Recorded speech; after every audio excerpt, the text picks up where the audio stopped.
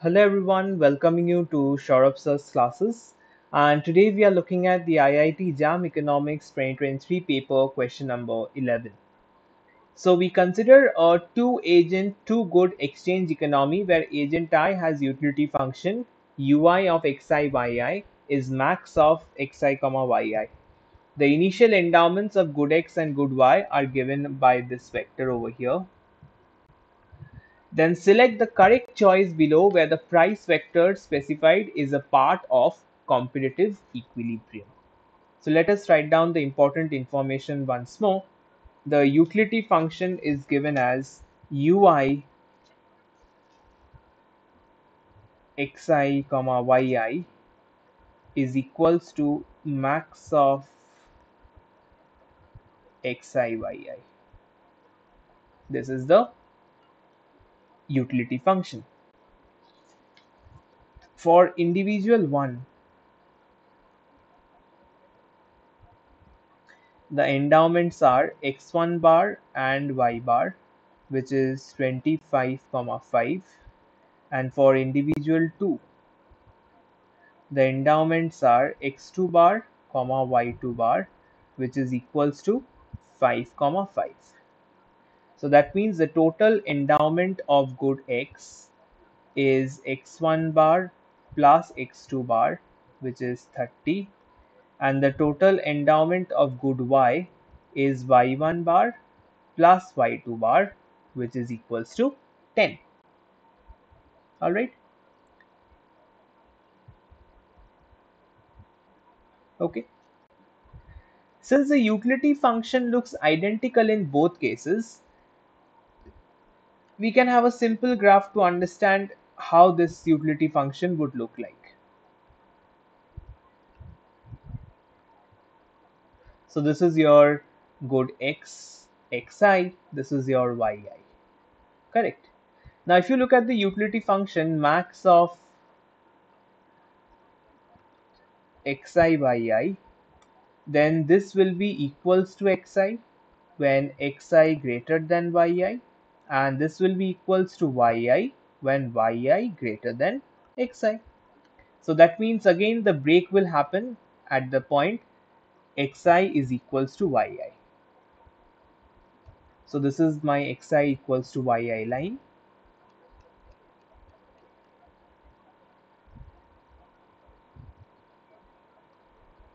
The upper part implies yi greater than xi and this will imply xi greater than yi. So the shape of the indifference curves would be inverted L shaped.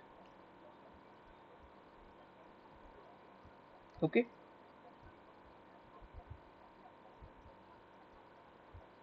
This is how your indifference curves would look like.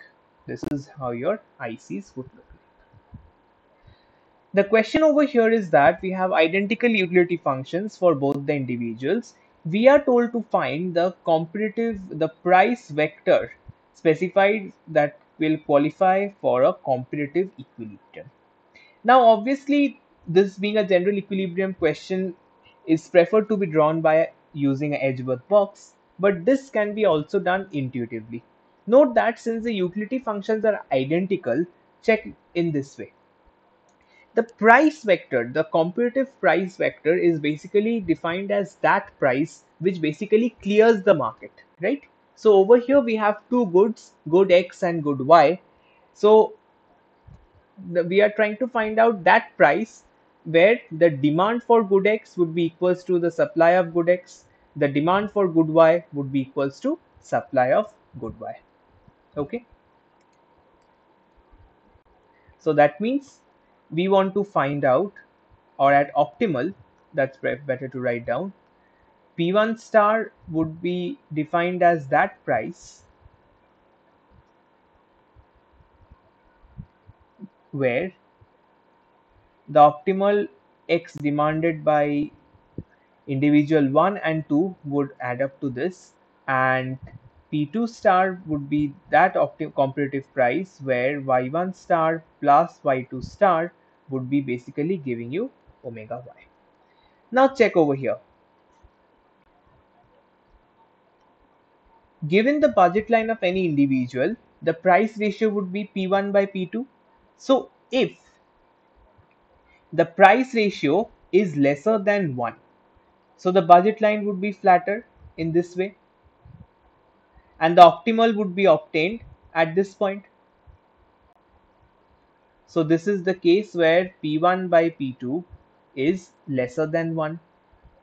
And on the other hand, if the price ratio is greater than 1, then the price line would look something like this. And if you pull it to the left, this is where your optimal would take place.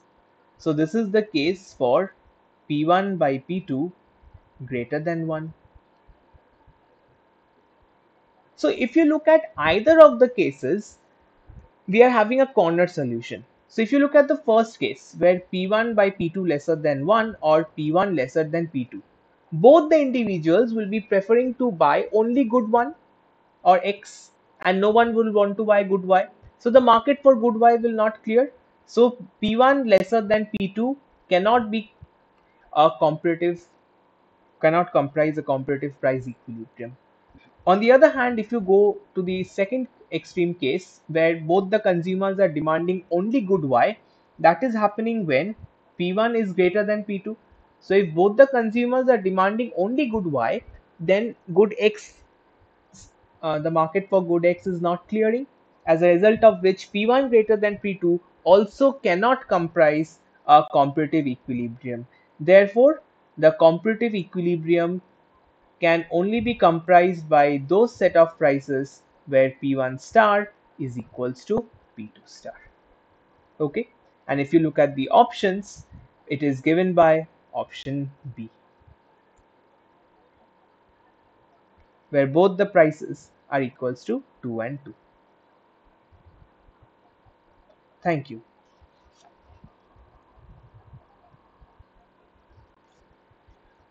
Now let us come to question number 12 of the IIT JAM 2023 economics paper. For a firm operating in a perfectly competitive market, which of the following is correct? Profit function is convex and homogeneous of degree 1.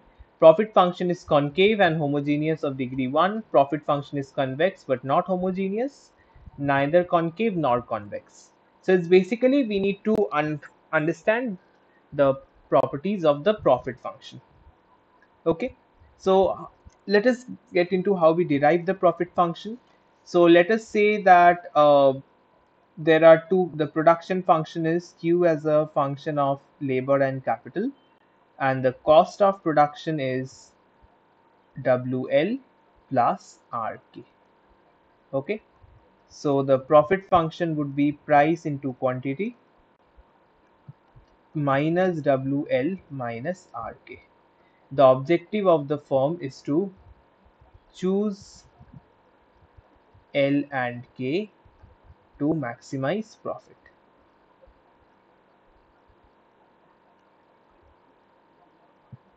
So it will do do del pi by del L is equals to 0 and del pi by del K is equals to 0. So that will become P times del F by del L minus w is equals to 0 and p times del f by del k minus r is equals to 0 right? So from here we get p times del f by del l is equals to w and from here we get p times del f by del k is equals to r. And dividing this we get our very standard result del f by del l is mpl del f by del k is mpy is equals to w by r. And using this optimization condition and the production function we solve for the optimal value of L star which depends upon P, W and R because these are the three parameters for the firm and K star which is also depending upon P, W and R. Correct? So if we replace this in the profit expression, we are basically get function of L star which is P, W and R comma function of k star which is p, w and r minus w l star p, w and r minus r k star which is a function of p, w and r. So essentially the entire expression becomes a function of P, W and R. So this is the profit function. The maximized value of the profit for any given level of P, W and R indicates the profit function. Okay, so if I write it in a more compact way, it is basically P star P function of L star comma K star minus WL star minus RK star. Correct? So now if you increase all the prices by the same factor lambda the commodity price the factors price which is lambda w making the rental rate as lambda r so this is essentially becoming lambda times pi star right so that means the profit function is homogeneous of degree 1 in prices so that means it is homogeneous of degree 1 in prices. Okay. So essentially your option would be either 1 or 2. These are the two things from which we need to choose. So now the question is that whether your profit function would be convex or concave.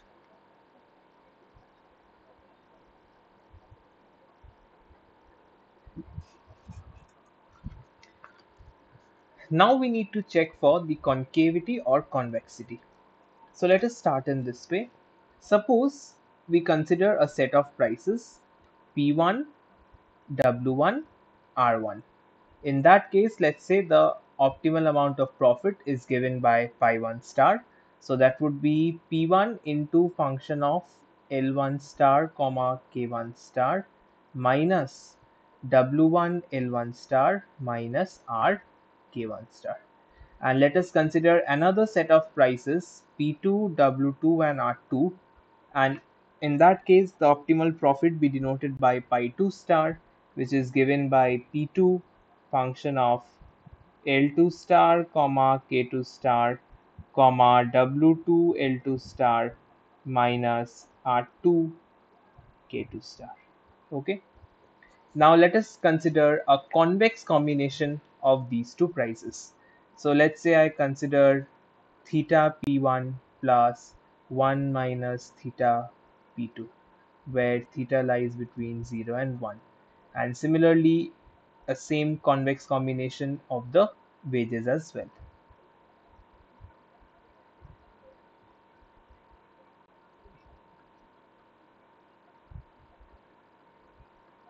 R1 1 minus theta R2 Let's say for notation purpose, we denote this as P3, this as W3, this as R3. So when the prices are P3, W3 and R3, let's say the optimal amount is denoted by pi 3 star. So that would be P3 function of L3 star K3 star minus W3 L3 star minus R3 K3 star. Correct?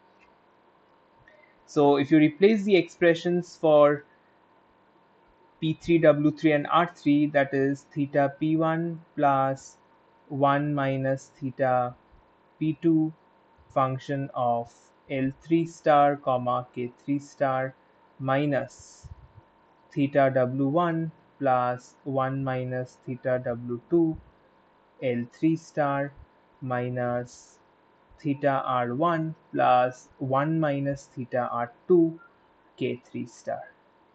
Okay, so if we group all the terms with theta in one place, so that would be p1 function of L3 star comma k3 star minus w1 L3 star minus R1 K3 star.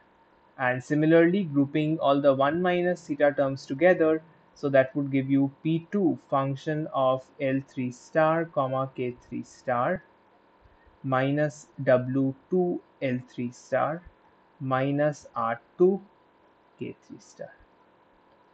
Correct?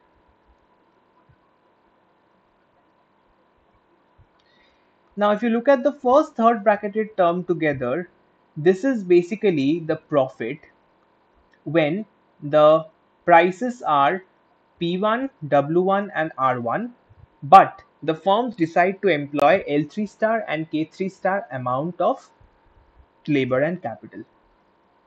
And we have already defined above that when the price combination is P1, W1 and R1, the highest amount of profit or the optimal profit is given by pi 1 star when the firm employs L1 star and K1 star amount of capital.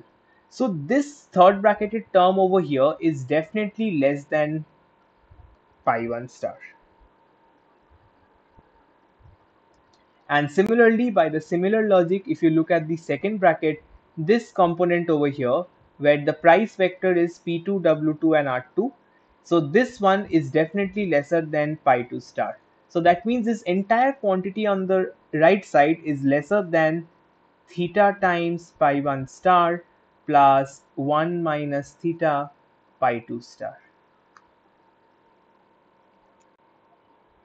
Okay, so this implies that it is convex in prices.